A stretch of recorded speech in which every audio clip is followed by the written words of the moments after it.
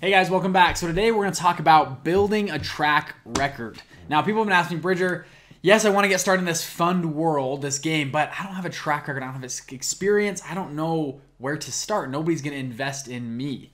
And when I started out my first fund, this was one of the biggest questions I had. I'd never managed money before.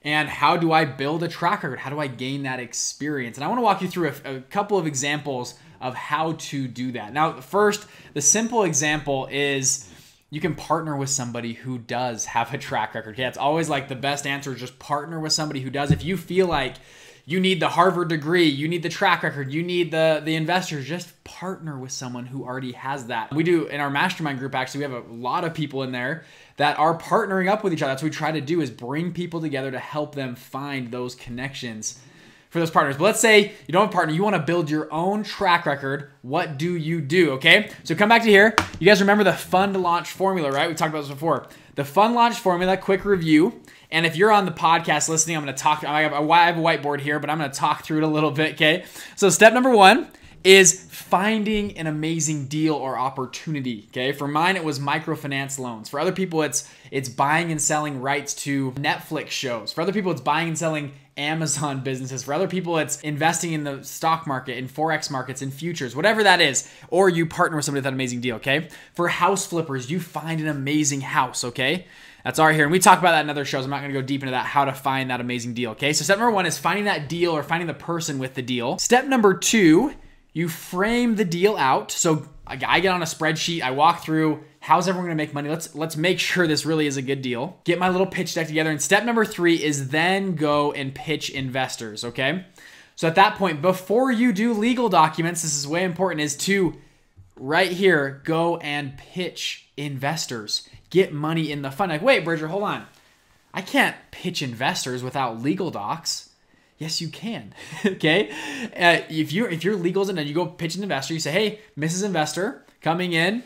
Hi, I, I've got this great deal. We framed it out. Now our legal docs are not done; they are in the process. However, this is the deal. This is what it's looking like. If everything checks out in a couple weeks when the docs are done, would you put in five hundred thousand dollars to this deal? If let's just say if it all checks out, can I put you down for five hundred grand? She goes, well, you know, yeah, I want to see the legal docs first. You go, of course, yes, you're definitely gonna want to see the legal docs. But yeah, if you know if this all checks out, yeah, I think I would be comfortable. If everything you're telling me is true, I would be down to you know put in maybe two hundred or five hundred thousand dollars. You go, great. Let me. I'll put you down for a soft commitment of let's call it five hundred thousand dollars. They say great. So you get soft commitments here, and then and only then when you have soft commitments it gives you the motivation and the fire to go pay for legal docs, get it done, and get it done right. See what happens is sometimes you go pitch investors. That's this is what I call market testing, pitching investors, and they don't like it. They don't like how you set up your frame. They don't like the deal. They don't like the structure, and maybe they poke holes in it that you never thought about.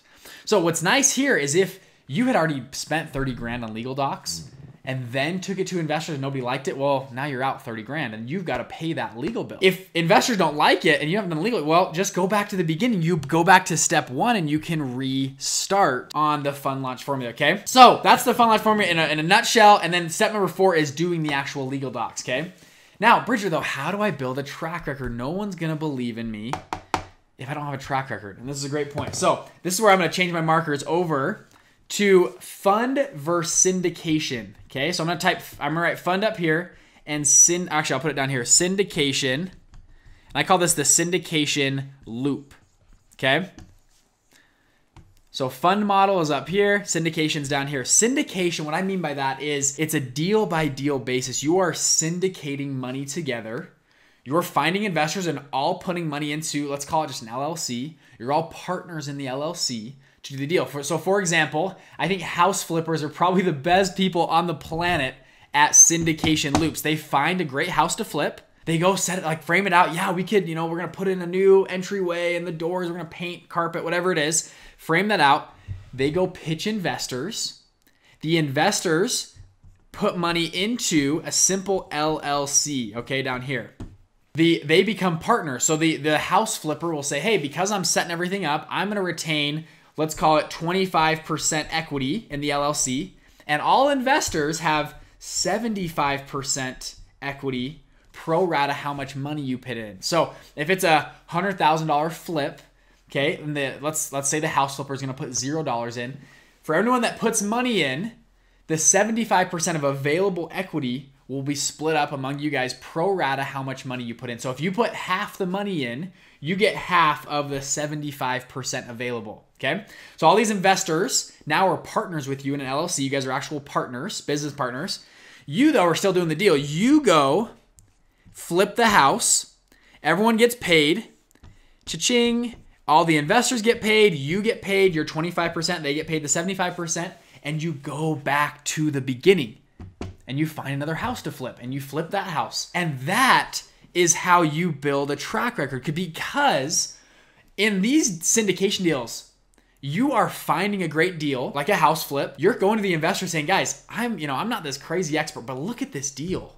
This is an incredible deal. Look at the house. You can have your people look at it. You're good at real estate. Look at this. This is a pretty good deal. Let's put money in on this deal. And maybe you partner with somebody too that has, you know, some knowledge, right, to help you piggyback off of their track record. You say, guys, this is this is a deal by deal basis. We're doing one deal right here. Let's put money into this deal. You're going to be an actual equity owning partner in this deal. Everyone puts money in, you help facilitate the deal, and you come back to the start. Now, a lot of people that maybe listen to the show are very good at these this syndication loop. And I'm getting a little messy on my whiteboard. This syndication loop, okay? The problem with syndication, I call it almost a, a hamster wheel of syndications. What I mean by that is this is if you know anybody that's a house flipper, I know a few house flippers and they do lots of flips. They do 20, 30 flips a year, all following this syndication loop. Now, what happens, and you guys know this if you've done this before, it gets pretty tiring. Every single deal, you have to find the deal. You got to frame it out. You got to find investors or new investors. You're always pitching people. They always want different. They got to restructure the equity and know this time I want 80%, not 75. And everyone puts money. It's always a negotiation. They put money in it's always hard. Then you can do the deal, and then you got to restart again. You got to find new money. And it's this, I call it a hamster wheel, and it's good. You make good money. However, it's it's hard to scale through that model. A quick story I want to tell you is about my dad. So my dad, you guys know my dad, co-founder of $20 billion family of funds, now originally started out doing syndication deals. He was running a debt fund, and a debt fund essentially is is you are giving you're issuing debt or loans to different people for projects. For them, they were issuing projects on real estate. So if someone had a good real estate project, they would issue a loan for you to finish that construction or the project, whatever it was. It's short-term bridge loans. What happened to them is they were doing the syndication every deal. They had to find new investors. They were always on the phones. Investors getting new documents, getting legal set up. And one Friday, one of their investors was last minute. They were closing on a Friday. They had money down. And one of their last investors didn't put in, I think it was like 40 or 50 grand because the bonds didn't clear. Whatever happened, they're on the phone. Sorry, I can get the money by Tuesday, but it was too late. And they lost the entire deal and their hard money. And uh, at that moment, my dad said, "He's like Bridger, I we had done everything right. We had set up the deal. We had done well. I mean, it was a good deal. We had investors, and because one investor didn't follow through, we lost this entire deal and our investors' money. They were mad at us, and it was out of our control. He said, We are never going to let that happen again.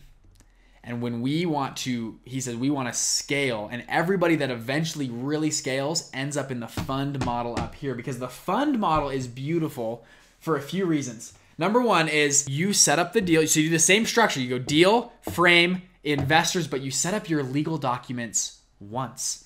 And from there, you can do deal after deal after deal after deal. Now, each deal you have to structure differently within yourselves but you aren't finding new investors and setting up new entities for every single deal you do. Or you're not finding new investors and renegotiating equity. It's you find your investors once, they put money in once, they commit the capital to the fund, and you have this huge pool that you can just draw down. So I tell house flippers, imagine doing 20 flips a year and you just have a pool of money you can just do as many flips as you want from. You don't need to call new investors, find new money, get new money in. You just have a pool of money, the money comes out, and you put the money into deals.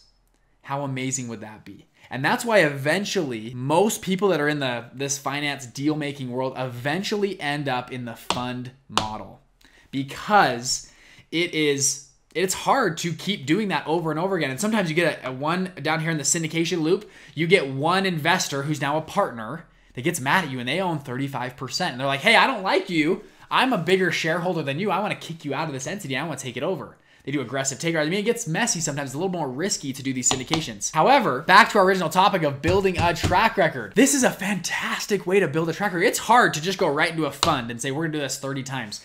The syndication is a way for you to build your track record because you do a couple syndications and then you can scale through your fund. My first, what I call a fund, was actually a syndication. It was an LLC. We I had investors put money in. I retained 30%. My investors had 70%. We did, I think, five or six deals in here in the syndication. And we said, aha, it's ready. We proved the model out. I paid all my investors back. And we said, now we're restructuring and we're going to the fund. And guess what? All those investors from my first syndications, they all gave me trial investments. Most investors that I've seen will give me a trial investment. Bridger, I'll give you a trial investment of $50,000, maybe $100,000. I said, great. I say, I'm going to knock your socks off with that trial investment. They put their trial investment into a syndication. And I tr- and you got to knock their socks off. You got to perform, right? It's got to be a good deal. I performed on my funds, and they said, "Wow, okay, we're we're willing to write a lot bigger checks now in the fund because you've gained our trust. You've proven your model out." So that is how I believe you can build a track record without going to Wall Street, have an Ivy League degree. This formula, using the fund launch formula between syndications and funds, works. Now, our programs, our groups, our mastermind, we help people do syndications and funds. If you're, whether you're A to Z, this podcast, this show, this is designed to help people in both scenarios to help you build a track record. And I think this is the best way to launch and get started. If you want more info on the fund launch formula, we have other episodes you guys can see more in depth on how to find deals, how to make frame things out, how to find those investors. But this is kind of the overview of the entire thing. Hope you guys enjoy, and I will see you next episode. Peace.